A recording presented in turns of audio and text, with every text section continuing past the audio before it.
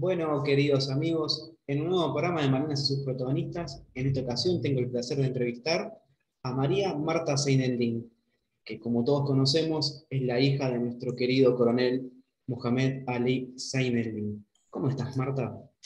Hola, ¿cómo estás, Matías? Un gusto. Eh, estoy muy bien, gracias a Dios. Eh, me encanta esto de, poder hablar de Malvinas desde el ángulo de un, hijo, ¿no? Que no participamos de la guerra, pero estuvimos en la retaguardia, hubiera dicho papá que ni siquiera así, pero bueno, eh, la verdad es que te agradezco mucho esto que haces porque, porque para mí es muy importante la malvinización, ¿no?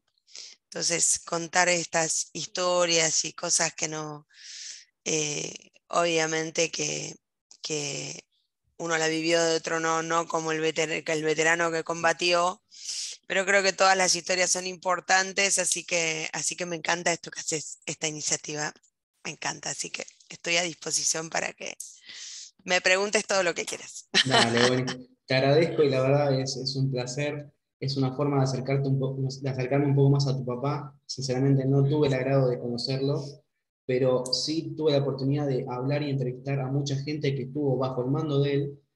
Y no sé si la palabra es mística, porque no es mística, es la impronta que le, que le daba tu, tu, papá a sus soldados, ya sea oficiales o oficiales y propios soldados. Y no hay una persona que no me diga, el coronel me marcó. Es, es algo que, que me quedó marcado y es increíble. Así es, pero él era así siempre. O sea, no solamente, viste, papá era un hombre que era absolutamente congruente entre lo que él pensaba, creía, lo que decía, lo que hacía, tenía una congruencia total. Entonces él era, no era, viste, el típico que dicen, en el fondo era bueno, bueno, no, él no. Él, él era así siempre, en mi casa, en el cuartel, con los amigos, con quien fuera, él siempre era un tipo de principios, era íntegro, pero a la vez era alegre, era, viste, tenía como la alegría del buen cristiano, ¿no? Y, y, siempre dejando un mensaje y un legado y una cosa, y con una humildad tremenda, porque como él decía, ¿no? Eh, eh, no soy yo ni es la persona, es, la, es Dios y la patria, decía siempre, ¿viste? Entonces es como que eh, él no hacía las cosas por él, por eso se pasaba horas y horas enseñándole a la gente, tenía una paciencia infinita, ¿viste?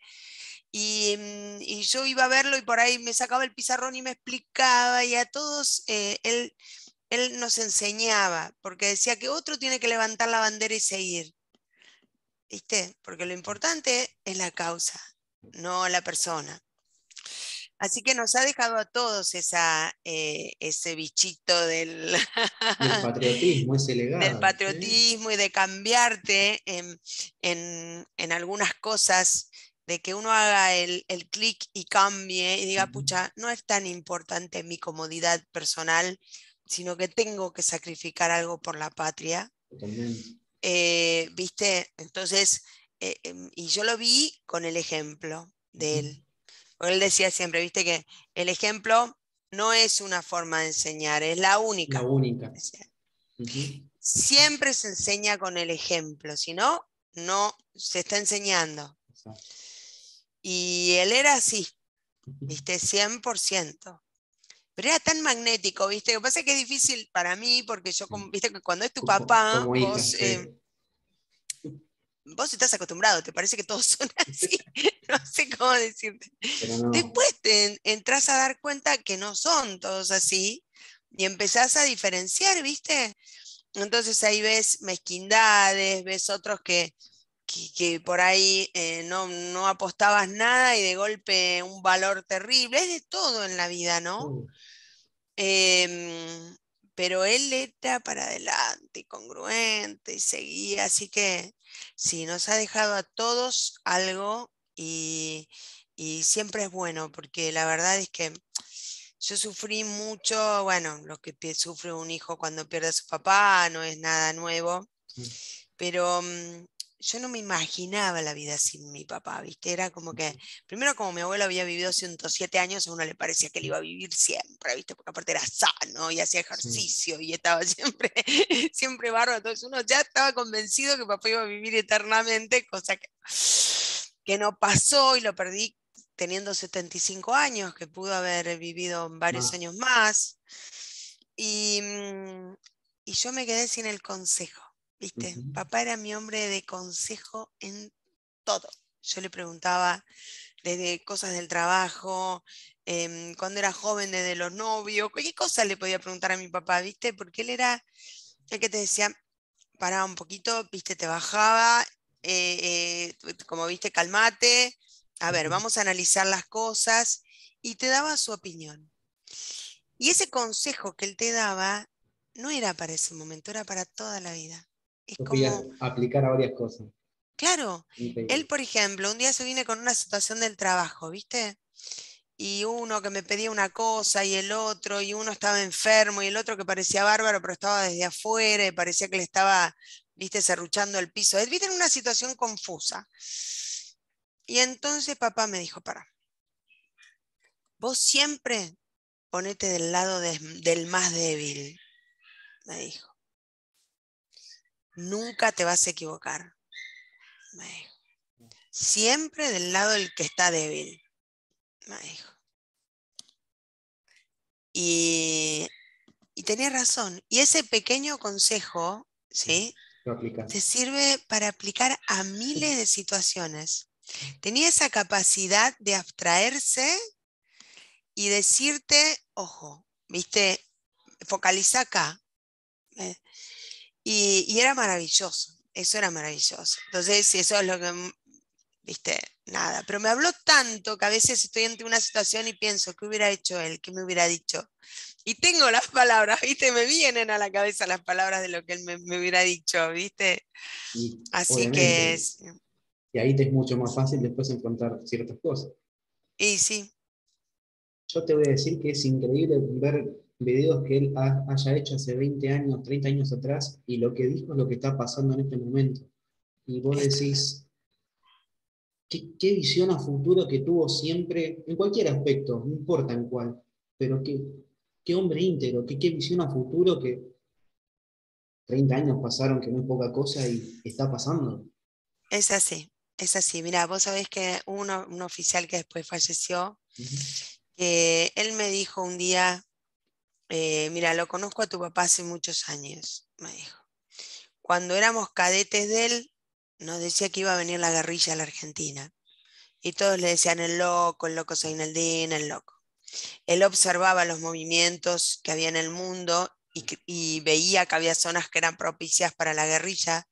Y él decía, la guerrilla va a venir.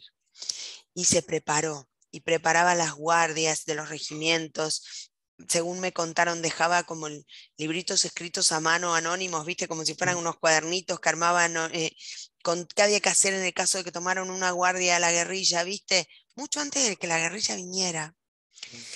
Em, me dijo él, y la guerrilla vino. Dice, estábamos en Malvinas y cuando vio que no se cumplía el plan y que entraron a mandar más tropas de Buenos Aires, el plan era que todos se volvían y se quedaba él con un con su regimiento, los ingleses no se iban a movilizar por un regimiento, te das cuenta, era, era pedir diplomáticamente, era lo que había que hacer. Cuando él ve que no se cumple el plan y empiezan a mandar en cantidades, papá le dijo, los ingleses van a venir. Y todos en las islas decían, no, ese Ineldín es loco, le decían, ¿viste? No van a venir los ingleses tocaban el orgullo a los ingleses y llenaban de gente, los ingleses iban a venir. Papá los conocía bien, los había estudiado, ¿me entendés? Entonces él me dijo, ahora tu papá me dice que van a destruir el ejército y yo le creo. Me dijo tipo. Y fue uno de los dos oficiales que entregó uno de los regimientos de Villa Martelli para cuando se hizo el levantamiento de Villa Martelli. Pero él me lo dijo claramente, ya nos viene alertando de lo que va a pasar y se cumple. Si ahora me dice que van a destruir el ejército, le creo. Dicho y hecho. Me dijo, ¿sí? Y es lo que estamos viendo hoy. Lo que pasa es que hace 30 años atrás, em, y viste la, la, la, mediocridad, ¿no? Porque a mí me han pasado situaciones que, viste, vos decís, no sé, un día estaba hablando con una amiga que habían detenido al padre por los derechos humanos en el círculo militar, o sea, viste, era, fue mi club toda la vida, ahora hace unos años que no voy, pero bueno, ahora van muchos civiles, pero igualmente estaba hablando con una amiga que habían detenido al papá. Y había otra señora un poco más alejada. Claro, como me escuchó hablar con tanta soltura de la cárcel y esto y el otro, ¿viste? ¿Qué sé yo? Eh, mi amiga en un momento me dice, pero ¿cuánto estuvo tu papá preso? Y cuando yo le digo, estuvo 14 años preso. El papá de la otra llevaba un año, ¿me entendés? Y la otra... Eh, entonces, ahí como que empezó 14 años. Esta señora me interrumpe, me dice, ay, discúlpame, pero ¿de quién es tu papá? Porque la verdad es que no, por lo que estás diciendo. Entonces le digo, el coronel Zainalena, ah, bueno, me dice, pero tu papá era un héroe para todo el ejército, todo el mundo hablaba de tu papá. Yo lo sé, yo lo sé, porque de chiquita me pasaba que mi papá era como el, viste, el Rambo del ejército. Eh, hubo muchas ocasiones en que me di cuenta de que esto era así antes de que fuera conocido afuera, era muy famoso dentro del ejército. Entonces, que eran los cadetes más entrenados, los cadetes de él, y que el tipo era comando, y bueno, toda esa cosa. Y, mm, y entonces ella me dijo, pero todo el ejército estaba con tu papá. Yo dije, no es así. Estábamos solos, con el grupo de los que se levantaron, pero todos se quedaron en la comodidad de su cargo y, no vieron lo que estaba más allá. Hubo solo un grupo de valientes, que el otro día me decía alguien, y yo abrí los ojos y dije, es cierto, hubo solo un grupo de valientes en Argentina que se opusieron al nuevo orden mundial 30 años antes que sucediera. ¿Entendés? Entonces, eh, y yo esto te lo digo porque estando en Panamá, por ahí te estoy mezclando los temas si vos me querés hablar de otra cosa. Vos decime si no te interesa o si voy por otro lado, pero... vamos Estábamos en Panamá mm, y, se hacía una conferencia muy importante de geopolítica latinoamericana y demás en Panamá.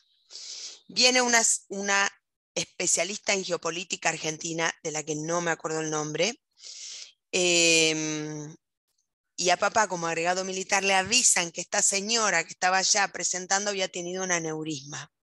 Se la habían llevado al, eh, hospital. Entonces papá con el otro agregado, no sé, el embajador, van a verla, ¿me entendés? Porque es un personaje así como muy, muy importante. Entonces ella lo agarra a papá y le dice, coronel, va a pasar esto, esto y el otro, van a destruir los ejércitos, van a hacer esto, por favor, tome, le da hasta material para leer. ¿Entendés? Entonces, más allá de todo lo que papá venía leyendo, las cosas no pasan porque sí, no hay casualidades, sí, hay causalidades. Era quien tenía que alertarlo de lo que se venía a nivel internacional, reforzando todo eso que él ya venía viendo.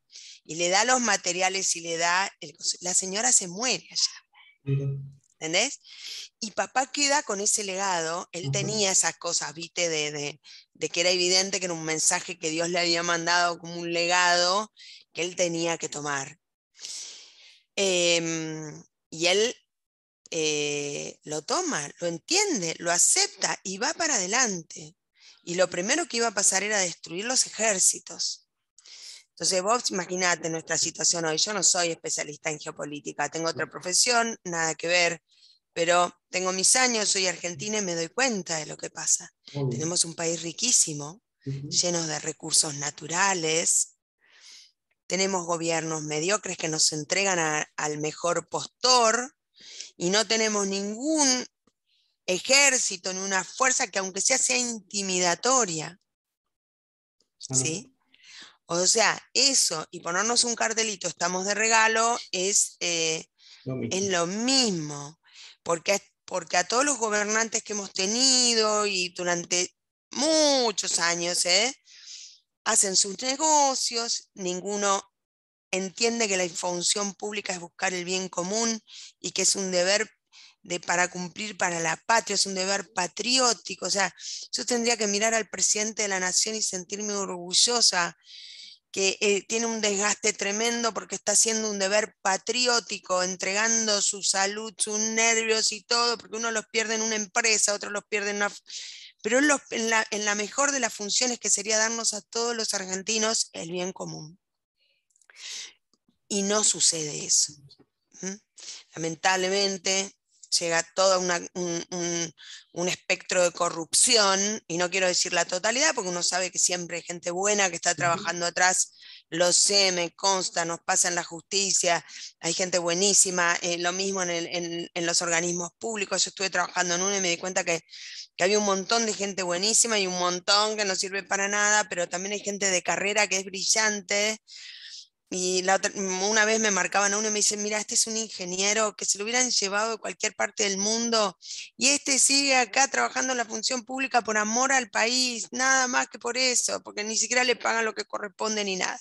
Entonces no quiero hacer una generalidad porque todavía hay una gran parte de argentinos que valen la pena. Lamentablemente ese embudito que va llegando hacia arriba, eh, hay mucha corrupción en el medio, hay mucho teje, maneje, muchas cosas y eh, terminan obligándonos a entregar eh, recursos y, esta herencia maravillosa que Dios nos dio de este país hermoso, que tenemos que estar todos defendiéndolo con el, amor más grande, no, nuestros chicos, nuestros jóvenes, valijita y se van para buscar la comodidad afuera. A mí me enoja esta situación, ¿eh? me enoja. Eh, me encanta que los chicos hagan experiencias afuera para volver y nutrir al país, porque es muy bueno, ¿sí? Pero que se vayan, porque tienen mejor trabajo afuera. Lo que si nadie pelea por este país es una cosa tremenda, ¿sí? Es terrible y me duele en el alma. Y te digo porque sé de cantidades de amigos míos que no, no es que no tienen para comer, ¿sí? Los chicos siempre, ah, no, bueno, pero afuera va a ser mejor, afuera va y se van, si se va nuestra juventud, ¿cómo vamos a quedar? ¿Sí? ¿Me entendés? Entonces, ante toda esta situación, ante todo esto que pasa, yo miro para atrás y veo a mi Argentina de pie durante la guerra de Malvinas y me llena de orgullo, ¿viste? Porque en el momento que las cosas pasan uno no termina de entender por qué pasan y qué esto y qué el otro. Pero Malvinas es la causa que hoy nos tiene que unir a los argentinos, hacernos sentir orgullosos porque fue el, la última vez que estuvimos de pie. Siempre estamos de rodillas, inclinados ante los ingleses, ante los norteamericanos, ante los rusos, ante quien quiera, pero siempre estamos de rodillas cuando tendríamos que estar de pie. Y te digo que no sé si fue la última vez que la Plaza de Mayo se llenó por voluntad propia y solamente con banderas argentinas, nada de política, digo. Es que eso era, mira, me pasó hace un tiempo que me, estuvo buscando un oficial inglés. ¿Por qué me buscaba? Resulta ser que papá le entrega el campo de prisioneros, lo mandan a este inglés, que era más joven que papá, con otro tipo, los dos solitos, a que un teniente coronel les entregue un campo de prisioneros enorme que estaba agrupado en el aeropuerto, ¿viste? Donde papá era el jefe de ahí. Entonces el tipo llegó con miedo, porque no sabía si hubiera una represalia o qué, ¿viste? Y papá le habló, lo sentó, dice que le, sirvió una, una comida y les estuvo hablando. Y él me dijo así, en inglés. Ah, bueno, el cuento es que el tipo estaba buscando al jefe del campo de prisioneros y él preguntaba siempre a soldados argentinos, ahora, en estos últimos años. Y todos buscaban un oficial de Fuerza Aérea. Ellos no sabían que era papá el jefe, el soldado de otras unidades, ¿me entendés? No sabían. Hasta que dan con un oficial y el oficial le dice, no, pero era, si era Seineldin, el jefe del aeropuerto. Entonces ahí estos soldados me buscaron y me dicen, mira, está este oficial inglés que se quedó muy impresionado con tu papá y te quiere hablar. Quiere hablarle a un familiar, ¿viste? Bueno. Entonces él me dijo en inglés, fue la peor comida que comí en mi vida, y la mejor charla que tuve en mi vida. Y siempre me quedé eh, impresionado con ese hombre y con la valentía de los argentinos, me dijo. Yo estuve en cuatro guerras, me dijo, y nunca vi algo igual.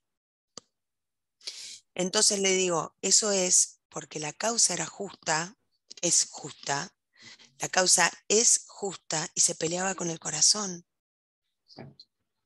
Cuando vos te mandan ahora, ponele a cualquier país y anda a defender no sé qué, y que no me interesa, ¿entendés? No me importa. Es un trabajo. Eh, bueno, viste, a mí me pasó, estuve en una situación complicada en Panamá antes de la invasión, pero había como situaciones, yo había ido a visitar a los viejos y de golpe se vino una, una avalancha, se me vino encima de gente y yo me encontré, viste, papá estaba en el hospital, se había accidentado saltando en paracaídas y yo le llevaba una ensaladita. Salíamos del hotel donde estábamos y se nos me viene un malón de gente encima entrando al hotel.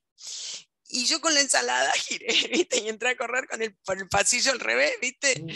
Y mi mamá y una amiga nuestra que estaba también venía, las agarró uno de seguridad, las metió a un costado, pero yo que estaba en la otra punta no tenía escape.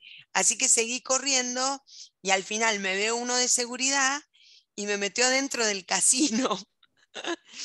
donde la gente, este es el dato cómico, la gente seguía jugando como si nada pasara y afuera era un caos total, ¿viste?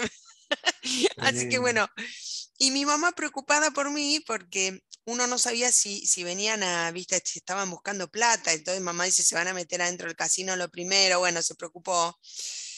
Pero yo en esa situación dije, no me quiero morir acá. A ver, yo quería mucho a Panamá, todo bien, todo fantástico. Pero, viste, morirte en la causa, en una causa que vos no sentís con el corazón, o, viste, eh, o sea, te das la vida por, por Dios y por tu patria, pero si no, no, ahí fui donde yo tuve, eh, pude comparar la diferencia y decir, qué terrible que te manden a una guerra que no es tu guerra. En cambio, Malvinas la teníamos en el corazón. La tenemos, sí. Y ese es, ese es el, el, heroísmo de estos, de estos soldados que no, no peleaban con sus armas, peleaban con el alma. Eh, no eran las armas, era el alma lo que estaba ahí. Eh, y eso los ingleses no lo podían entender. Es increíble. ¿Por qué? Porque son nuestras las islas, no de ellos. Exacto. Ese, Ese es, esa es la diferencia. También hay una, eh, hay una anécdota que me quedó grabada de, de tu papá en Malvinas, que cuando se produce la remisión y todo, habla con un oficial inglés y el oficial inglés le, le, pide, bueno, vamos a, tenemos que ir al campo prisionero súbase a un jeep, o no me acuerdo, que un jeep. Es este mismo. Ah, y yo lo llevo. Y tu papá dijo que no, y fue caminando con sus soldados. Eh, es este mismo, estaba muy impresionado. Es este mismo. David well, Wells es el apellido. Y Wen, Wen. Y mm, muy amable, ¿eh? te digo que hablamos dos veces por WhatsApp, un videollamada, súper amable conmigo. Por, por eso o sea, viste, con esta impresión que tenía con, ese hombre que se había encontrado, papá estaba mal de salud ahí, había adelgazado muchísimo los nervios de la guerra y bueno, no estaba bien. Y le dijo, no, no, yo lo llevo de ninguna manera, dijo papá, yo voy caminando con mis soldados. o sea, justo es la misma persona. Es la misma persona. Y eso también me lo contó él. Me dijo, yo lo vi a él, que no estaba bien, y ahí después me contó uno de los oficiales que cuando iban caminando vio un puestito de atención médica y lo agarró a papá y lo metió adentro, porque lo vio que no estaba bien. Papá bajó muchísimos kilos en Malvinas, no por falta de comida, los nervios, la presión, la responsabilidad, obviamente, ¿no? Em, eh, la desilusión con la, con la rendición, ¿viste? Él se hubiera quedado a morir ahí, él se quería morir ahí. ¿Entendés? Yo como hija lo sé, él se quería morir ahí. Entonces, viste, realmente eh, que tener que rendirse y tener que irse, pero él sabía que cualquier decisión imprudente eh, iba a acarrear muchos muertos. ¿Me entendés? Si hubiera sido por él, te puedo asegurar, él caminaba bajo los bombardeos todas las noches, ¿viste? con una radiecito nuestra que se había llevado chiquitita viste esas radios con los cassettes y les ponía marchas militares y caminaba debajo de... Esto me han contado los soldados, ¿no, papá? Porque nunca te iba a contar una cosa así. Pero los soldados me han contado cosas así, como que caminaba de noche y... Y los iba a visitar a los pozos también. Siempre, tuvo, mm. siempre tuvo contacto con su gente. O sea, no es que, bueno, yo soy el jefe, me quedo ahí y ustedes fíjense. No, no, no, no. Bueno, pero mi papá, mi papá es comando, ¿viste? Era comando. Y los comandos siempre van al frente, los comandos siempre son los últimos. O sea, papá, y yo lo vi a esto en vivo y en directo cuando fui al 25 y lo fui a ver, él estaba de maniobras eh, fuera del regimiento y lo fuimos a visitar un día. Y, y comían primero el último, el soldado más raso, todos, todos, todos. Después comía el, suboficial más raso hasta el suboficial de más grado, después el, el, subteniente. Y último de todos estaba él con el mismo platito que los demás. Increíble. Entonces al cocinero se le quemó la última papa y estaba, viste, o sea, la última tenía que estar bien, viste, no había nada ahí, porque eso él se aseguraba que todos comieran. ¿Entendés? Es lo que dijimos en un principio. La única forma de enseñar es con el ejemplo. En casa algunos problemitas teníamos con la última porción de postre, te voy a decir la verdad. Siempre digo que ese era el lado. El, lado no, no, no, no, viste, decía, claro, si nos reíamos porque él era dulcero, viste. Entonces por ahí cada una lo veías ahí que toca. Pero él siempre, por ejemplo, pavadas, pero nosotros queríamos la pata del pollo, éramos cuatro, ¿viste? Bueno, el pollo se dividía en cuatro y papá y mamá comían la pechuga. Yo me enteré de grande que a él le gustaba la pata también, ¿me entendés? Él nunca, él no, siempre viste primero los demás, ¿viste? Siempre fue así, era, era la verdad que un tipo... nato ya de, él. Sí, sí, muy alegre aparte, la verdad que sí. ¿Y la familia Seineldin? Él de chico, tus, tus abuelos, eh, ¿Cómo era la, familia de ustedes? Bueno, mi abuelo era, mis abuelos los dos eran drusos libaneses. Es una etnia que no son ni, musulmanes ni católicos. ¿sí? Es una etnia reducida de guerreros, que según sé son, son guerreros, nómades. ¿sí? Mi abuelo medía casi dos metros, unos ojos celestes, así nada que ver, ¿viste? Con, un sirio. Y mi abuela, Claro, y mi abuela, mm, eh, libaneses, ¿eh? no sirios, libaneses, libaneses, puros los dos, mi abuela y mi abuelo. Y mi abuela era chiquitita, bajita y muy parecida a mi papá de cara. Cuando vos lo veías juntos era gracioso, ahora viste mi papá mucho más grandote y mi abuela, pero eran muy parecidos. Y mm, mi abuelo vino muy joven, ¿sí? Eh, eh, nada, se peleó con un turco en la dominación turca y mi, mi Mm, mi bisabuelo era Sheikh, ¿viste? Era como un personaje, los Sheikh eran em, como, por lo que sé, ¿no? Por lo que leí y demás, eran como mm, honoríficos, ¿sí? Era como una familia muy conocida, muy respetada y tenía este cargo honorífico. Pero aparentemente un turco se quiso hacer el vivo con, con una hermana de mi abuelo mi abuelo se trompió, la cosa terminó mal y lo andaban buscando a mi abuelo para matarlo. Entonces mi bisabuelo lo subió a un barco. Esta es la historia que sé. ¿Te imaginas que te estoy hablando? Mi abuelo murió a los 107 años cuando yo tenía 13 años. Así que imagínate los añares que estamos hablando. Cuando él vino vivía Sarmiento, eso es lo que yo sé. así que, bueno, entonces él se viene, se sube a un barco sin hablar una palabra de español, ¿viste? Un chico de 18 años eh, libanés, viste, una cosa mm. así. Y bueno, va pasando, pasando hasta que se establece finalmente en Entre Ríos. Cuando entró su nombre original, Mahmoud Mohamed Zein El Dine, se convirtió en Miguel Sánchez, ¿viste? Y vivió como Miguel Sánchez. hasta que llega mi abuela, que, es, que era viuda de su hermano menor. Viste que antes por ley tenía que darle descendencia, como mi abuelo, bueno, era viudo y qué sé yo, y ella eligió a mi abuelo, se viene acá, pero él le llevaba muchos años, era mucho más grande. Y a mi abuelo le había ido muy bien, tenía negocios, tenía cosas y, campo y nada, viste, tampoco era millonario, pero digamos que tenía un buen pasar, mi abuela viene para acá a casarse con él. Y le dice, no, yo me vine a casar con un Seineldin y ahí lo obliga a cambiarse el apellido. Mm. ¿Sí? Así que bueno, ahí se cambia mi abuelo el apellido, medio que se lo, español, se lo hacen más eh, eh, castizo con ese y qué sé yo, pero bueno. Y, mm, tienen tres hijos. Mi tía Katef, eh, mi papá y mi tío Semi, que es el único que vive. de los tres hermanos, que es médico cirujano que vive en Rosario. Es un encanto. Todos fueron brillantes en lo suyo. Mi tía Kate era, era profesora de literatura. Vos no sabés la gente que me encuentro, en eh, profesora en Concordia. La gente que yo me encuentro de Concordia, lo que me hablan de mi tía. O sea, con un cariño la invitaban siempre a los, a los viajes de egresado, los chicos y todo. Ay, tu tía era... Bueno, y mm, ella se casó y tuvo una hija que es mi prima Kate, que muchos la siguen en las redes, todo bueno, que es mi prima eh, mi prima es como mi hermana, la quiero un montón, es una divina total. Y, mm, y, bueno, que ya después ya se radicó Concordia, Concepción del Uruguay, y mi tío Semí se fue a estudiar medicina a Rosario, se casó y se quedó allá. Y bueno, mi papá que se vino a Buenos Aires a, a, ser militar, que era lo que él siempre había querido ser.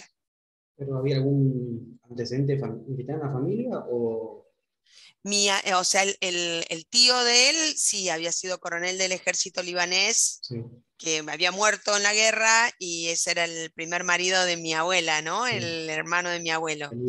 Pero papá siempre, viste, parece que de chiquito ya decía que que quería ser militar. Hay una prima de él que siempre cuenta que, que, no sé, que colgaba una muñeca y le decía por traición a la patria, ¿viste? De que era chiquito ya, O sea, él siempre quiso ser militar y era un, y era un deportista brillante, ¿eh? o sea, eh, era excelente en todos los deportes que él hacía, no hacía todos, pero la verdad que era, era excelente deportista remaba mucho en Concordia, en el río Uruguay. Él remaba mucho y bueno, boxeaba, el box era su deporte preferido. Y mm, bueno, él viene acá, rinde para, hacer, eh, para entrar al colegio militar, pero era la época de Perón y eh, mi abuelo era radical y gritaba en las plazas en contra de Perón. Y entonces em, un oficial que estaba allá en Concordia dijo, no, el padre es contradictorio al gobierno, con lo cual a él le rechazan su primer ingreso al colegio militar y él lo vio años después, tenía un promedio excelente y un sello que decía padre contradictorio al gobierno. Vuelve a Concordia con un dolor que no había entrado al colegio militar tremendo y le toca la colimba y hace la conscripción. Por eso él siempre decía, yo fui soldado también, ¿viste? y él hace la conscripción. Mira, eh, porque es muy interesante lo que pasó después. no hay casualidades, hay causalidades. Em, él termina la conscripción, vuelve a. Estaba por la plaza de Concordia y ve que cuatro chicos más grandes, no sé, le, estaban, le estaban fajando a uno más chico. Y siempre del lado del débil, papá salió a defenderlo era una bestia, salió a defenderlo, ¿viste? Los otros cuatro salieron corriendo y él le dijo, te voy a acompañar hasta tu casa. Tendría dos años menos que él, no sé, ¿viste? Te voy a acompañar hasta tu casa por las dudas. Cuando él llega a la casa, abre la puerta al padre y el chico le cuenta lo que había pasado. El padre le dice, no, por favor, pasá, te agradezco, qué sé yo. ¿Cómo es tu nombre? Mohamed Ali Zaineldin era el coronel que había dicho que no lo dejaran entrar al colegio militar. ¿Vos me lo podés creer? Increíble, increíble. Era, la vida de papá no son siempre señales, ¿viste? Entonces le dijo la verdad el coronel, le dijo la verdad, yo fui, yo voy a hablar para que vos entres al colegio militar, así que volví a rendir. Y así fue, mira. Y así fue, volvió a rendir y entró. Increíble. Mira vos, ¿no? La buena obra, ¿ves cómo viene de Dios claramente? Porque Él hace la buena obra, lo, protege al débil, lo acompaña hasta la casa y que no tenía la menor idea quién era esta gente, ¿me entendés? Y era un coronel que estaba destinado ahí en Concordia. Y abre la puerta y justo era él, padre. Mira si le abrió a la madre, le decía gracias, gracias, chao. No, le abre el padre, le pregunta quién era, le agradece y era el tipo que había dicho que no entrara. Todo pasa por algo. Entonces, todo pasa por algo, entonces ahí entra una alegría enorme para él, porque no se imaginaba haciendo otra cosa más que militar. Eh, siempre se conformó con lo que el ejército le daba, siempre estaba agradecido, ¿viste? Era un tipo, eh, pero bueno, nada, él siempre se exigía más y era, y era siempre dar más, ¿no? Cuando mm, eh, pasa el golpe, mi papá se opone al golpe y lo detienen. Eh, lo detienen porque él, no por peronista, eh, porque no era, no era peronista, él era nacionalista. Él se opuso porque él no estaba de acuerdo con los golpes militares. Él decía que los gobiernos tenían que ser civiles y decía que estaba todo tan mal que el próximo gobierno iba a tener que hacer las cosas bien y que si se metían los militares iban a destruir el ejército, que así pasó. ¿Entendés? Yo te voy a contar la verdad del otro lado. Yo ya estaba tan cansada de la guerrilla, tan repodrida. Se nos había, mi hermanito menor murió post el Cordobazo. O sea, bueno, la pasamos muy mal. Tuve una semana bajo fuego en el Cordobazo, era chiquita, con bolsas de arena, nos disparaban. No, no, fue una locura. Em, eh, me acuerdo esa mañana mi mamá me viene a despertar, la del golpe y me dice, ay, no tenés colegio, golpe, las dos estábamos re contentas. Y entonces yo le digo, y papá, papá está preso, pero no te preocupes, me dice, está bien. Viste, en esas locuras en las que uno vivía, porque la verdad es que yo estaba cansada, quería que se terminara la guerrilla de una vez, viste, cada vez que salías mirando que no te siguieran, que, que podía explotar el auto, que los papás de mis amigas que mataban a mi papá lo atentaron en la puerta de casa, a mí me tuvieron con un fan en la cabeza, estaba harta de la guerrilla. Así que bueno, con esto no te digo que justifique si las cosas se hicieron mal. No estoy en esa justificación, yo te digo lo que vivimos la familia militar, ¿viste? Porque todo el resto parece que nadie veía lo que nos pasaba, eran ellos o nosotros. Yo con 11 años mi papá me enseñó a tirar, porque te puede salvar la vida tirar en un momento, ¿me entendés? Y yo era chiquita, ¿me entendés? Hoy cuando pienso esas cosas, eh, eh, viste, bueno, nada, la pasamos mal. Eh, pero siempre para adelante, eso es, es lo importante. Y, mm, y, bueno, él no estaba y el proceso sabía que él no estaba con el proceso. Pero en dos ocasiones lo llamaron y lo buscaron. Una fue en el 78 para la Organización de la Seguridad del Mundial de Fútbol. ¿Mm? y la segunda fue para el desembarco en Malvinas. O sea, sabían que era... ¿A quién estaban buscando? Sabían quién era eh, perfectamente, que era el tipo que, en el que confiaban 100%. Aparte, mi papá era tan disciplinado, ¿me entendés? Pero claro, se había opuesto, había quedado claramente en una posición de que no respaldaba el proceso, ¿viste? Em, así que bueno. Y dentro de las filas, obviamente, quedas marcado. Sí, me acuerdo, yo me acuerdo de un compañero de mi papá que le decía, si vos no estás con el proceso, te tenés que ir, le decía. Yo me acuerdo clarísimo de eso, lo escuché yo, era chica, viste, pero uno está atento, estaba ahí. y, nada, pero para él como Dios y la patria estaban por encima de todas las mezquindades y todas cosas, no le importaba, él se seguía capacitando, formándose, entrenando gente, viste, era como que nada, y combatió a la guerrilla como la tuvo que combatir. La combatió en el Monte Tucumano. Eh, viste, se ofreció para ir, me acuerdo, en, lo escuchaba yo también, viste, porque él se ofreció para, eh, él decía que, bueno, nada, que no eran, no eran las formas, que había que, hacer las cosas de otra manera, que juicios y fusilamientos televisados en la Plaza de Mayo, esa era su posición, y que él se ofrecía a dirigir el pelotón de fusilamiento. Decía, todo se tiene que hacer a la luz del día, era su, su posición. Eh, igualmente también hay mucho cuento, ¿viste? Con todo lo que pasó, hay mucho negocio, ¿viste?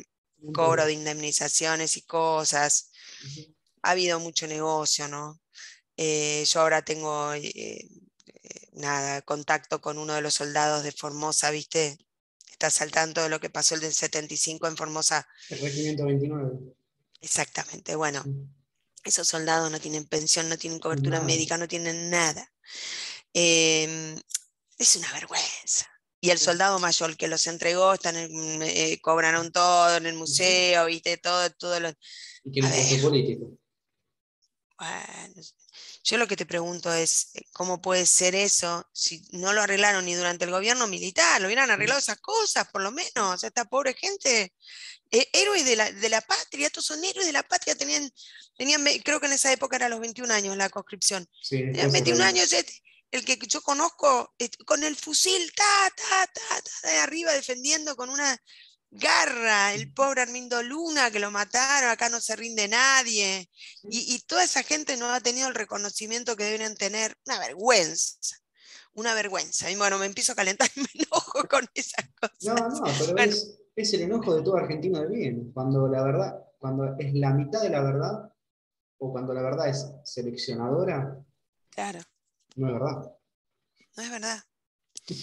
Entonces, bueno, trato de, le estoy dando una mano con trabajo, ¿viste? Pues él hace trabajos así a domicilio y pobre es un gusto escucharlo. Y yo digo, pucha, ¿viste qué? Qué injusticia, ¿no? Qué injusticia. Eh, así que bueno, eh, no sé cómo me fui hasta aquí, pero bueno, vos me dirás qué querés preguntarme. No, bien, bien, más o menos ahí ya fuimos conociendo un poco de, lo que fue la, la, infancia de tu papá, cómo se fue insertando en las filas. Eh, cuando mencionaste lo del Mundial 78, vos por ahí me dirás que estoy equivocado, creo que tu papá fue la base del Halcón 8, ¿no? Que fue la Exacto, base, era el jefe, era el jefe del Halcón 8, claro. Era el jefe de los comandos, que, o sea, lo que se creía es que ellos podían hacer algo como en Múnich, ¿viste? Secuestro de un equipo de fútbol o algo así. Entonces, em, había un, un, se juntó, ahí le dieron, le dijeron a papá, elija lo que quiera, ¿viste? ¿Qué necesita? Le dieron todo. Entonces él buscó todos los comandos, la cosa, ¿viste? Eh, los que, y formó un equipo maravilloso. Eh, yo estoy en contacto con ellos. Eh, sí, sí, sí. con un grupo, viste, de comandos grandes, ¿no? Que, bueno, que tienen un grupo y me dicen, no, vos tenés que estar, yo tengo que ver, no, vos tenés la sangre por tu papá, viste, tenés que estar. Entonces, bueno, a veces he ido a almorzar con ellos o algo así. Y, mm, y fue un grupo fantástico y nada, ¿viste? Pero por mm. eso te digo, yo que, que, haya, que haya visto, que recuerde en dos ocasiones de alto riesgo, no llamaban a él. Por algo será. Y ya llegando a lo que fue Malvinas, imagino que ustedes estaban ahí en la familia, o sea, ustedes en Sarmiento, me imagino. No, no, no, te cuento cómo. No. Ah. Eh, mi hermano estaba en la facultad, así que él estaba en Buenos Aires. Yo estaba en cuarto año, empezando. Eh, no, cuando lo destinan, yo estaba en tercer año. Entonces, mis padres se sentaron y pensaron: ¿qué hacemos? Yo para ir. tenía que ir a un colegio, eh, o sea, viste, para ir a un colegio, un secundario, viste que si yo tenía que irme hasta Comodoro, había en Sarmiento, pero viste, era como que era menos, viste que es complicado cuando vos estás en los dos últimos años de colegio, porque ahí es donde más nivel tenés que tener para poder entrar a la facultad después. Entonces, en ese momento, viste, yo miraron el colegio de Sarmiento, viste, entonces me dicen, la tenemos que mandar todos los días a Comodoro, 150 kilómetros, nieve, cadenas, qué sé yo, no, es un peligro. Y yo, dando gracias a Dios, porque imagínate que te fuiste a tu colegio, a tus amigas, todo, y que te saquen en cuarto año. y nosotras... 15, años. Claro, al 15 años, imagínate que, que nosotras éramos tan eh, éramos otra generación, viste lo que decían tus padres, sí señor se hacía y punto, viste, no era tan conversado como ahora, viste, en esa época era, te decían, vamos para acá, vamos para allá, y una ni objetaba, ¿no?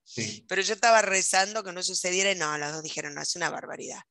Entonces, como mi hermano ya se quedaba acá en casa, entonces, eh, y estaban mis dos tías fieles, que son las dos hermanas de mi mamá, solteras, que siempre nos cuidaron, unas genias. Em, entonces, eh, mamá iba y venía. Se ah, quedaba unos días con nosotros y después se volvía a Sarmiento con papá eh, a cumplir su función ¿no? de, esposa del jefe del regimiento. Así que nosotros... ¿En dónde vivían ustedes? En Belgrano. Ah, Belgrano. Sí.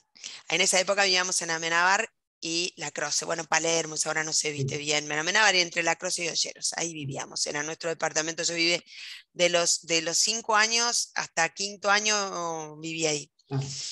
Y mm, bueno, la cuestión es que mi, mi mamá estaba allá y mi papá estaba organizando la cosa en Malvinas, que era hiper secreta. Entonces le dice, Tuchi, ¿por qué no te vas a Buenos Aires? Que, que los chicos empiezan ahora a la facultad, al colegio, así los acomodás bien, quédate un mes, quédate tranquila, le decía, porque quería sacarla para que, viste, claro. Entonces eh, mi mamá, sí, tenés razón, me voy a ir con ellos, qué sé yo. Entonces se viene para Buenos Aires, la convención. Y el, qué sé yo, unos días antes, ahora no me acuerdo cuánto, él llama para despedirse porque se iba a unas maniobras prolongadas. Y ellos salen el, el 28 de marzo, así que fue por ahí. Claro. Como estaba siempre de maniobras, imagínate, papá, estaba siempre de maniobras. Entonces nosotros vino, viste, dijimos, bueno, bien, a nadie le pareció raro, viste. Dijimos, de hecho, ¿por qué llama? Viste, porque nada, estaba siempre.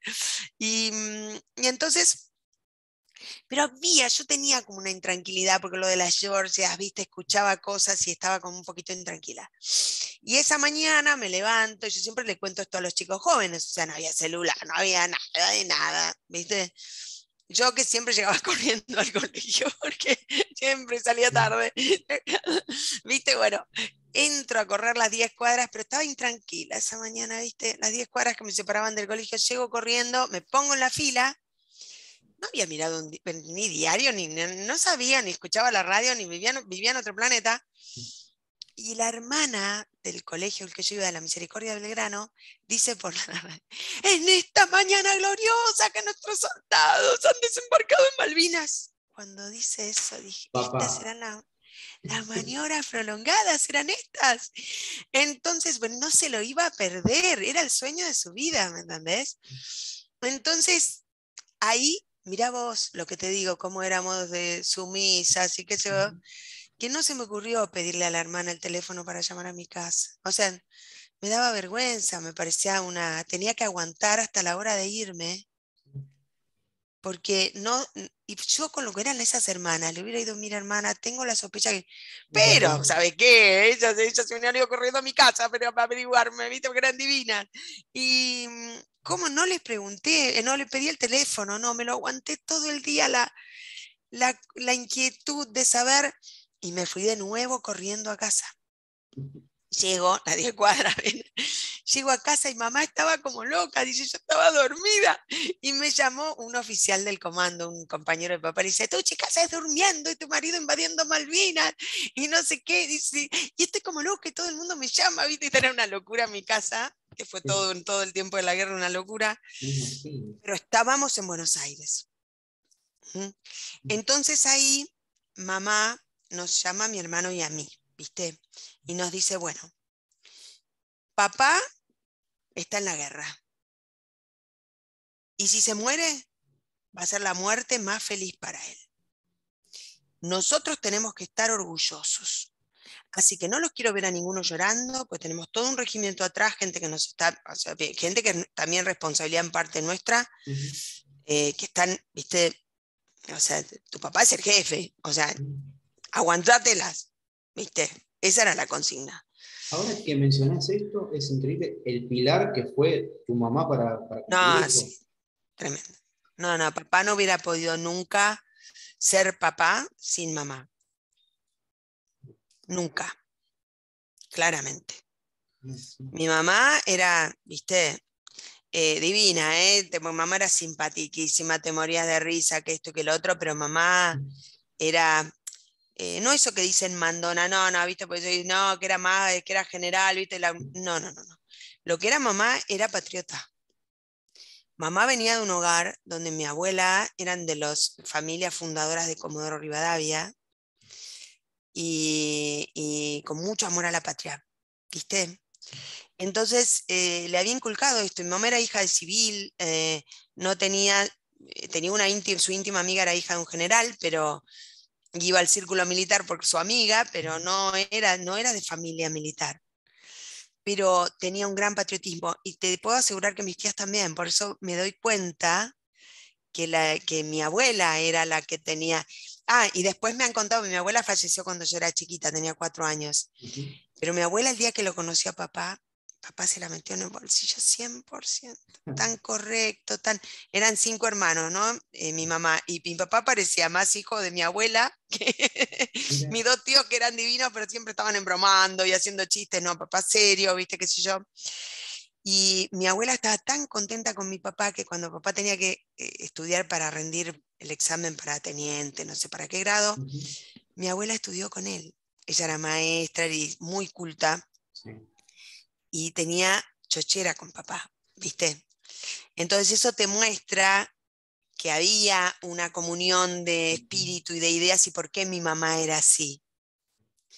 Entonces mamá lo respaldaba 100%, ¿eh? lo respaldaba 100%. Mamá también aprendió a tirar y cuando papá salía de casa en la época de la guerrilla, mamá estaba entre las macetas con un arma eh, cubriéndolo, viste, la salida de él, porque vivíamos en el primer piso. Entonces, em, de hecho, un día tuvimos un incidente que lo atentaron en la puerta de casa y, y teníamos un Citroën 13B. viste que era una latita, Y, y, bueno, y viste, viste que en los garages tenés una puerta que se abre y da una pared que hay para un solo auto y después el resto guardacoches. Bueno, nosotros teníamos esa cochera porque era la del primero, que era nuestro departamento. Entonces, papá siempre había dicho, si me vienen a matar, vos sacá el auto, correte con los chicos, porque yo no voy a poder disparar si están ustedes en el medio. Dijo. Entonces llegamos a casa y había dos tipos con todo un, viste, un, ¿cómo se llama? Eh, unos tapados, unos sobre todos así grandes, sospechosos, en la puerta al lado de casa. Entonces papá se baja, abre la puerta y le hace a mamá así para que tire el auto para atrás. Él se mete adentro y saca las dos armas. Los dos tipos se meten en la cochera. Mi mamá había tirado el... primero me metió un bollo a mí, me hundió en el piso. Mamá tira el auto para atrás y cuando los dos tipos se mandan, sacan las armas que lo iban a matar a papá, mamá metió primero y les tiró el auto encima mientras pensaba, qué lástima, voy a bollar el auto, porque encima no teníamos un mango, ¿no? Por supuesto. ¿Entendés? O sea, los tipos habrán dicho, esta loca, saltaron por encima del auto, ¿qué les iba a hacer con el citrón? Tampoco iba a hacer. Pero mamá metió primero, dice, ¿no lo van a matar a mi marido así? Metió primero y les tiró el auto encima contra la pared, ¿viste? Los tipos saltaron por arriba y se fueron y desaparecieron. Mi papá decía, pero vos sos loca, tú sos loca, y se reía, ¿viste? Porque fue una situación, pero esa era mi mamá, ¿no? Eh, entonces, y todo lo que vino después se resistió por la fortaleza de mamá, ¿viste? Eh, pero papá también te inspiraba eso, porque toda la familia lo seguíamos, porque él era tan, tan noble, tan sano, tan, eh, eh, viste, un hombre de unos principios tan elevados que te daba seguirlo, viste, te daba admirarlo, no te daba otra cosa. ¿Quién se iba a ir y le iba a dar vuelta la cara, viste? Ninguno de la familia, toda la familia lo seguimos dijeran lo que dijeran, a mí no me importaba, yo lo seguía donde fuera y como fuera. Entiendo. ¿Viste? Entiendo. Y después que, que tu mamá te dijo, no sé si fríamente, pero detalladamente, ¿qué pasa? O sea, si a tu papá le pasaba algo, está bien, vos tenías 15 años, tu hermano era muy chico, ¿no? No, más grande, más grande. Eh, mi hermano estaba en la facultad, sí. Tu hermano era más grande, pero bueno. Yo tenía 16 y mi hermano 20. Eh, me imagino que estar después todo el día con eso en la cabeza no debe ser nada bueno. Viste la posibilidad de...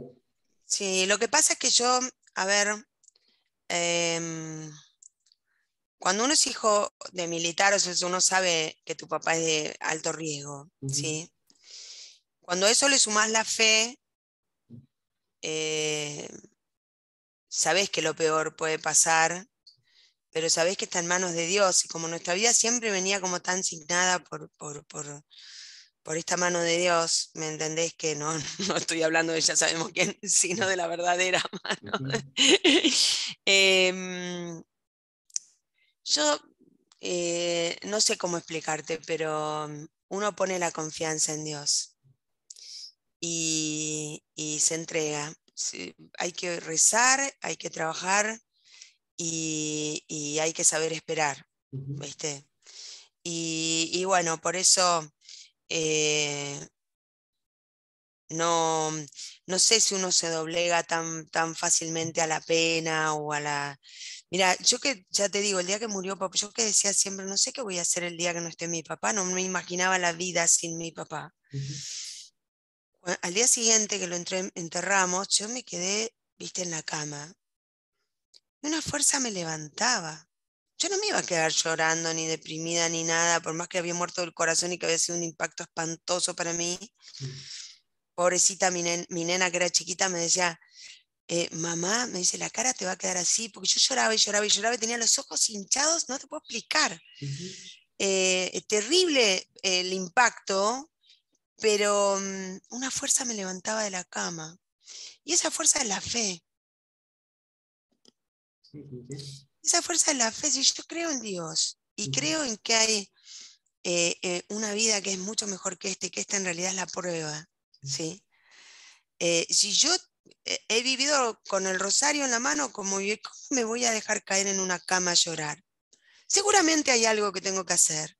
Seguramente hay una persona que ayudar. Seguramente hay, hay alguien quien hablarle. Hay un, hay un Matías con quien tengo que hablar. No sé. Algo tengo que hacer que Dios me pondrá en el camino. ¿Sí? Pero hay que seguir dando batalla. Hay que acordarse que, que Dios nos dijo que no que eh, San Pablo dijo que, no, que Dios no nos va a preguntar cuántas guerras ganamos, sino cuántas veces dimos batalla. Y esta es la batalla, es estar hablando, estar saliendo, estar eh, eh, dando ánimo a alguien que está mal, ¿sí? estar tratando de construir algo mejor, con todos los errores que uno tiene, porque uno es un ser miserable, lleno de pecados y lleno de cosas, pero está esa fuerza de Dios, que es de Dios, porque la fe es una de las de las virtudes teologales y Dios te la da. Entonces, esa fuerza que viene con la fe y esas ganas de, de, hacer, sabiendo que ya va a llegar el momento del reencuentro. ¿sí? Es así. Entonces, eh, no, no, no tuve esa cosa de, sí, estaba muy intranquila, venían los barcos ingleses, obviamente tengo ese recuerdo Recuerdo que una amiga vino a casa y me hablaba de cosas porque nadie sabía qué hacer, viste cómo acompañarte en ese momento. sí. Pero estate seguro que, yo creo que las mamás, no de todos, pero hay muchas mamás de soldados que no tenían la misma preparación que yo tenía. ¿Sí? Y esta fuerza de mi mamá que te diga, si papá muere, acá va a ser la muerte más feliz para él. Así que creo que en eso, em, sí, por eso mamá nos pedía tanto que desde la, lo que nosotros mostráramos pudiéramos acompañar al resto. Nosotros volvimos, eh, yo ya no me acuerdo, pero creo que mamá, mamá volvió al regimiento. Después se volvió a venir y ya cuando fue la rendición, que no sabían dónde estaba papá, ni los ni todo el regimiento, estaban, viste, tuvieron como un mes más dando vueltas, que unos barcos, que esto, que lo otro, nosotros viajamos al sur. Otra vez, las hermanas del colegio, yo no tenía más faltas, ¿viste? Entonces, y yo con mi con mi absoluta eh, responsabilidad, diciéndole, mamá, no tengo más faltas, no le puedo ir a decir a la hermana que me voy a recibir a mi papá que viene de la guerra, imagínate, ¿viste? Entonces, bueno, yo voy a ir a hablar con la hermana, va mamá a hablar, pero por favor, que se vaya ya, que se olvide, ¿viste? Y uno tan responsable en la situación, claro, ellas veían la gravedad de la cosa, ¿no? Y, mm, y yo seguía eh, responsable.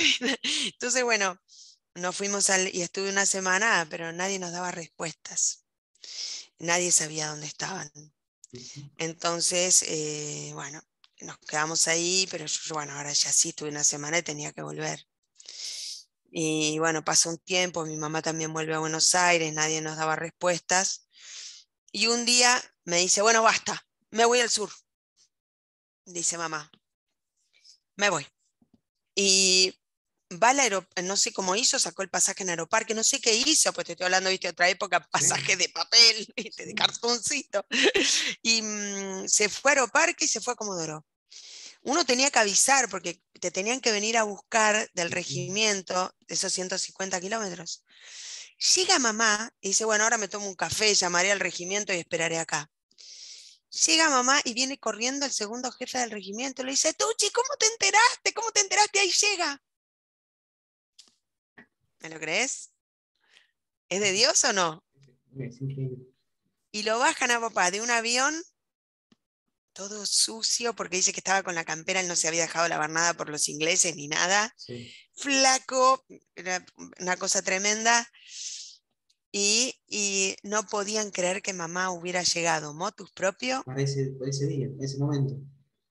que estuviera en el aeropuerto cuando él llegaba. Es. Mirá si no es de Dios, Totalmente. ¿viste? Por eso te digo, nuestra vida ha estado como muy guiada, ¿no? ¿Y tu papá qué edad tenía en el 82? Y era el 33, así que tenía 49. 49, mira. No, Sí. 48. Él cumplió 49 En en. noviembre. Porque era abril. Él en noviembre cumplió Mm. 49. Bien. Sí. Y en estos 74 días que él estuvo allá en Malvinas, ustedes, eh, ya sea por por parte del regimiento o allá en tu casa, ¿recibieron alguna no- noticia de él? ¿Alguna... Sí, sí, sí, sí. Yo le mandé cartas. Sí, sí, le mandé cartas que él estaba muy emocionado. No sé qué le dije, pero dice que mi carta lo emocionó. No sé qué le habré dicho. Pero siempre decía que yo era como muy parecida, salvando las infinitas distancias, pero esa cosa de la esperanza, la fe y todo. Y yo con mis 15 años se ve que algo le dije que lo que emocionó. Sí, sí, sí. Y, mm, y bueno, sí, nos escribió. Em, em, después nos llamaron que lo iban a sacar en televisión, ¿viste? Después de esa nota que. Claro, entonces, bueno, que habían preguntado quién que dieran un oficial que fuera referente y todos lo señalaron a él. Entonces es esa nota de, viste, 60 minutos, que uno si uno la googlea está la Sí. nota, ¿no? Así que nos avisaron y, y teníamos unos nervios, no había caseteras para grabarlo, nada. Yo durante años dije, ay, quiero conseguir esa nota, bueno, y ahora con YouTube es tan fácil, viste, a- pero a tengo, sí. claro. ¿Y cómo Y fue así- ver a tu papá en la, en la tele? Ay, una emoción, estaba tan orgullosa, yo tan orgullosa. Mi hermano estaba un poco más intranquilo, ¿viste? Mi hermano, no, pero los ingleses, que vi de... era más, yo era puro orgullo, ¿viste? ¿Qué te voy a decir? Igual que ahora, siempre lo que él ha hecho eh, me enorgullece, y, ¿viste? Todo, porque era tan, él me decía siempre, nos decía a los dos, eh, yo no les voy a, a dejar ni propiedades, ni dinero, ni nada, nada, pero les voy a dejar un apellido para que estén orgullosos. Es increíble cada, frase de tu papá, cómo marca, es, es increíble. Sí, y te voy a decir algo. Durante muchos años yo sentí una enorme injusticia dentro de mí porque la gente hablaba mal y él no se lo merecía. Pero nunca pudieron quebrantar mi orgullo. Jamás. ¿Viste? Jamás pudieron quebrantar mi orgullo. Porque en una época había que llevar mi apellido, ¿eh? Porque donde entrabas, imagínate un consultorio médico, yo esperando que empecé todo, Todo- todo se daba vuelta a ver qué clase de monstruo se paraba. ¿viste? Eh, había que, o me rebotaban en los trabajos, Ah, llegaste a por tener esa- supuesto, sí, un montón de trabajos. Y Mirá, lo peor es que me, me pasó en uno que yo estaba segura que me iban a contratar. Era un banco muy importante y de un señor muy católico. Y me encantaba el trabajo. Me mandaron de mi facultad para ese trabajo y el seleccionador de personal me decía, ya no te quiero adelantar, pero vos quedás, vos sos el perfil de lo que queremos, vos quedás, vos quedás, vos quedás. Me hizo todo el coso, no sé qué, me volvió a llamar, no sé, no y no quedé. Probé varias veces y cuando vi que no había ninguna empresa que me tomara, eh, empecé a trabajar independiente. Sí, te entiendo. Pero no soy buena para cobrar, ¿viste? Ese es- tengo un problema. no para aumentar y todo eso me cuesta. Entiendo. Y bueno, ya más grande volví a la relación de dependencia y yo soy mejor ahí, ¿viste? Porque claro, me cuesta aumentarle a los clientes, ¿viste? No, no sirvo para eso. Te organizo bárbaro el trabajo, pero con la plata nunca. Prefiero tener mi sueldo y me lo depositen todos los meses y quedarme tranquila. Sí, así que bueno, después pude volver y reinsertarme, ¿no? Pero imagínate que hace menos de 10 años, cuando entré en una empresa lindísima, un lugar bárbaro en el que estaba hasta, bueno, hasta ahora este mes, porque cambió de trabajo ahora, eh, eh, preguntaron, ¿no es muy fuerte el apellido para tomarla tantos años después? ¿Sí? Me tomaron por mis capacidades, Claro, digamos, eh, lo que sé y, y bueno, pero por eso te lo digo, por más cosas que dijeran, nunca, ni quebrantaron, ni van a quebrantar mi orgullo jamás, porque yo lo conocí, yo sé lo que fue, eh, y, y los que hablan no lo conocieron, no saben. Sí, Sí, se dejan llevar por el que dirán. exactamente. Sí, sí, te entiendo. Te entiendo, te entiendo bien a lo que nos Así que, sí, yo siempre digo que a mí el apellido me hizo inimputable en algunas cosas, pues yo digo lo que se me canta, ¿me entendés? O sea, lo Mm. que creo y estoy convencida, lo digo. Y que me venga a criticar quien quiera, no me importa. Yo eh, viví, vi, conozco, a ver, no me van a hacer cambiar de opinión. Lo que vi, lo viví y estoy segura de eso. ¿Viste? Entonces, eh, por eso, sí, soy la orgullosa hija. Y yo sé que en este momento ahora tu papá nos está escuchando y se siente más orgulloso de lo que te sentís vos de él, seguro. Más orgulloso de lo que Vos decís, mira, no creo porque no le gustaba mucho que lo halaguen y yo lo halago mucho y siempre pienso, "Mm, me debe estar diciendo esta". Sí. No, querida, me decía, yo soy un humilde soldado, no, querida, no digas eso de mí. Lo de Pero no, papá, le decía yo. Lo de perfil bajo, muchos soldados me lo dijeron, que siempre con perfil bajo, tranquilo, siempre atrás, observando, mirando, analizando. Es, es increíble, es increíble. Sí, eso es el que él decía siempre que no importaban los hombres, que lo que importaba era la causa de Dios y de la patria. No los hombres, los hombres pasan, ¿sí? Así que sí, La patria nunca. ujú, así es, Por más que muchos intenten de pisarlo.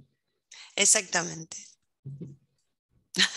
Y tu reencuentro con, con tu papá después de Malvinas, eh, ¿cómo fue? Fue raro porque hubo un desencuentro ahí en Aeroparque, cuando él llegaba, viste, bueno, estábamos en casa y, y bueno, eh, no sé, no lo esperaba, me sorprendió, él estaba, viste, eh, que ha venido una guerra, perdiste gente, sobre todo, viste, los soldados, los ofi- suboficiales, y, y bueno, y al gran Roberto Esteves, y, y bueno, la verdad es que a quien conocí en persona, Mira. mira, claro, porque cuando yo estuve en Sarmiento, eh, me quedé todo el verano Sí, eh, antes de Malvinas. sí, sí. Bueno, los conocía a todos, que eran, viste, eh, eran todos eh, eh, oficiales muy jóvenes. Un par de años más eh, que vos. Vos tenías Claro, 14, viste, yo 15, por ahí tenían 23, 24. eran más como, como mi hermano, ponerle Sí. algunos, viste, qué sé yo, Juan José Gómez Centurión, yo creo que tenía un poquito, un año más que mi hermano, no, no creo que tuviera más. Sí. Em, y, y bueno, me acuerdo un día de estar eh, con Roberto Esteves que mamá estaba arreglando algo de la capilla del regimiento, no me acuerdo qué. sí. Y no sé si él estaba charlando con nosotras, o no sé si él había viajado a Buenos Aires y se había traído algo, no me acuerdo cómo era, un- algo que mamá pedía, un farol, no sé qué pedía, mamá se pasaba arreglando cosas, todo lo que podía, la casa, la iglesia, la cosa. Y, y él estaba, tengo el recuerdo ese clarito que él estaba charlando con nosotras en la, mira los destinos, ¿no? Eh, así que sí. Y bueno, todos muy heroicos. Así que, viste. Eh, ahora vuelvo, si Dios quiere, para Ah, los bien. 40 años. Yo no había vuelto nunca más y, y en, el, en el 2019 volví. Es el 28 de mayo, viste, el aniversario de la batalla de Darwin. sí. Eh, y, y fue una emoción enorme, una emoción enorme volver al 25. Y mi mamá me dijo, eh, le digo, ¿qué pasa? ¿Querés venir conmigo? Pues yo no le iba a llevar, ya estaba grande, ¿viste? Y me dijo, ay, sí, quiero ir, tal vez sea la última vez que pueda ir. Eso fue en mayo del 19 y ella murió en enero del 20. Y la alegría que a mí me dio el haber podido volver, y ella que estuvo, que una amorosa, la esposa del jefe de regimiento, que la paseó por todos lados, nos llevaron a la casa, bueno, y la atendieron tan bien, estaban tan contentos que ha habido mamá. Sí. Pues es cuando me enteré, me avisaron que había muerto mamá, una de las primeras personas que llamé para agradecerle fue a, a la esposa del jefe del regimiento. Le digo, mira, acaba de morir mamá y pensé en vos, en qué feliz que la hiciste, que, que pudo volver al 25. Él había- ella había ido una vez antes, pero siempre era no, que cuidado, que no nombren a Zain al-Din, viste, todas esas cosas, que qué sé yo. Y ellos abiertamente y con tanto cariño, viste, Y yo le digo ese reconocimiento que le hicieron unos meses antes de morir, yo te lo agradezco de corazón. Me acuerdo clarito que fue una de las primeras personas que pensé para agradecerle, ¿viste? Por lo menos que se haya ido con, que le hayan, eh, ¿viste? Con ese reconocimiento, papá, de... Sí, eh, que tanto, claro, viste, uno no, nunca esperó muchos halagos ni muchas cosas. eh, como dicen, ay, no pidieron las, ¿cómo se llaman? Las honras militares cuando murió, que no le dieron nada. Nosotras no pedimos nada, yo no, pedí nada al ejército. No perdí, no pedí nada al ejército, no te- tenía nada que pedirles. El hombre que estaba ahí muerto era mucho más glorioso que el que pudiera atenderme el teléfono, ¿viste? Y no necesitaba que nadie me lo dijera ninguna banda militar. Esa es la realidad. Y sé que mandaron gente para ver si lo estábamos enterrando con uniforme o no, ¿viste? Se hace estupideces. No lo enterramos con uniforme, lo enterramos con su traje. Y yo estuve orgullosa cuando para mi casamiento se puso el chaqué. Y él estaba pobre, tan triste. Le digo, ay, papá, con la facha que tenés vas a estar divino de chaqué. Y él te- me decía, ¿te parece, querida? Pero sí, le dije, basta, ¿viste? Basta de cosas. Le digo, ya te, te dieron de baja el ejército, no le- ¿viste? Nada, no quiero, porque yo quiero al ejército como institución. Lo que pasa es que muchas veces los hombres que les toca cuidan su cargo y no hacen lo que tienen que hacer, no se juegan, ¿entendés? Em, cuando ves a un tipo así noble de esos principios y demás, mira si nosotras con mi mamá íbamos a estar pidiendo honores militares. No los necesitaba, más honor que todos los, los, los soldados del 25 viniéndose en camiones, pobrecitos como pudieron, para, para tuvimos que demorar un día el velatorio más para que ellos llegaran a uno no lo podíamos sacar de la bóveda porque le decía a la señora que tengo que hacerle 24, de horas, 24 horas de guardia a mi teniente coronel. Más honor que ese, No existe. ¿quién se lo iba a dar? No. ¿Me entendés? Entonces uno tiene que saber en la vida las cosas. Él estaba disfrutando de los verdaderos honores, los que no le dieron acá, pero que él tampoco los pedía ni los buscaba, porque como te digo, él lo hacía por Dios y por la patria, no por él. Exacto. Está la famosa frase, prefiero pudrirme en la cárcel con... Tal cual, así era él. Así era él. Él prefería estar preso con todos estos maravillosos hombres valientes que también dejaron todo por algo que iba a suceder muchísimos años después, que no sabían cuándo, pero tenían la convicción de que a su ejército lo estaban destruyendo. Ujú. ¿m? Y muchos no se animaron y se quedaron en la casa. Sí. Total, habrán calculado y más o menos llego a cobrar mi jubilación. Y Dios y la patria te lo debo para otra oportunidad. Y las oportunidades a veces no, no siempre llegan, ¿viste? Pero bueno, no somos los jueces. Eh, gracias a Dios, el juez es Dios, es Dios y no tenemos esa responsabilidad nosotros. Em, no guardo rencores tampoco de todo lo que se mm, desaparecieron, amigos y demás que desaparecieron en la mala, porque nunca nos la creímos con mi hermano, ¿viste? Nos invitaban a todos lados. Cuando estaba papá ya, ¿viste? Que era la figurita. Nos y nosotros nos reíamos, decíamos, ¿qué, ¿a qué nos invitan a este lugar? Nosotros que no tenemos nada que ver. Sí. ¿Me entendés? Me invitaban a un casamiento que yo no conocía a nadie porque era yo, ¿viste? Para que tuviera. Y yo decía, bueno. Y, pero nunca nos la creímos, así que Mm. cuando caímos en desgracia, tampoco nos importó perder a todo eso, eso era de relleno, los verdaderos amigos se quedaron. Entiendo. Eh, ¿Me entendés? Como siempre pasa, ¿no? Sí. En las buenas y en las malas, los verdaderos y los otros están para el show. Así que sin rencores, eh, con fe y siempre apostando a algo mejor, a una vida mejor que seguramente tendremos en el reino celestial algún día. Eh, pero mientras tanto que hay que dar batalla. Todos los días. Es. Esto que estás haciendo vos. Gracias. Y como yo siempre lo digo, o sea, Malvinas no es solamente el 2 de abril, son los 365 días del año y hay que aprovechar. Ellos, hay muchos que todavía están vivos, están ustedes, o sea, la única forma de, de aprender lo que realmente pasó. Así es. Así es, yo miro, viste, ese poltronier y viste esa gente que vos decís, ay, por Dios, hay tantos. Esteban Tríes, ¿viste? Todos estos chicos, eh, bueno, no son eh, e, estos hombres eh, valientes que con esa alegría te hablan y con esa cosa de esa simpleza y a mí me dan un orgullo enorme, enorme, enorme. Cuando les hablo, los conozco, me entero que van por los colegios hablando y contando, ¿viste? Y esa malvinización. Y yo de verlos, o sea, vendiendo cositas en los trenes, a ver que hoy la gente los aplauda, me pone muy contenta. Muy contenta. Llevó muchos años, llevó, te diría que 35, porque hará 5 que, que, se los empezó a reconocer, no sé. Sí, no mucho más.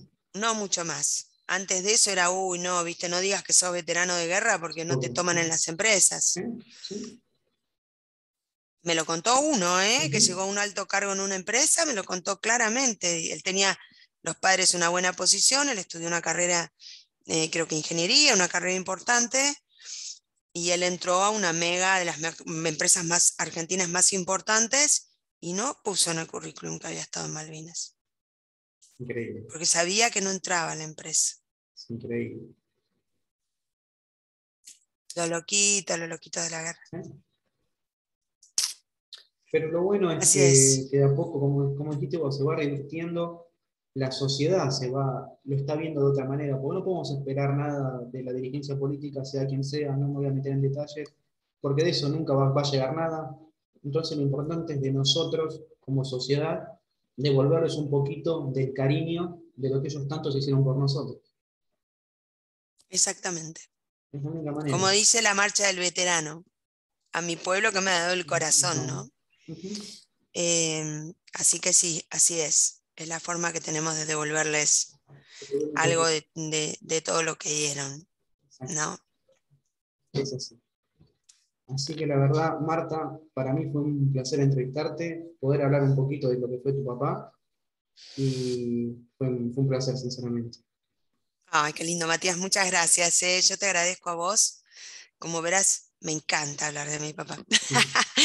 Así que bueno, no es un sacrificio lo que me pedís. Siempre que puedo lo hago. Eh, siempre digo, viste, mis dos hermanos varones fallecieron, uno de chiquito, el otro de grande, bueno, no tan grande, pobre, a los 39 años, eh, dando un testimonio maravilloso, pero lo perdí. Y si Dios me dejó a mí, eh, será para que hable.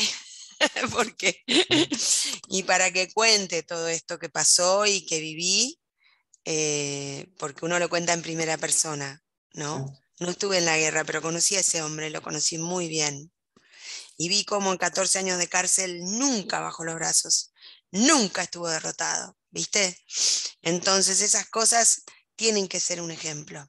Él y un gran grupo más, ¿no? No es solo él que a él le hubiera gustado, me estaría retando y le hubiera gustado que dijera, pero es la verdad.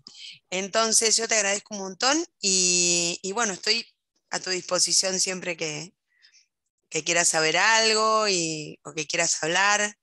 Em, nosotros tenemos, donde estamos nosotros, que se llama Seineldin Vive y, bueno, ahí eh, tenemos, viste, página de Instagram, de todo como para eh, los que nos quieran preguntar cosas, viste. Por eso lo abrimos, porque hay muchos chicos jóvenes que nos preguntan y que...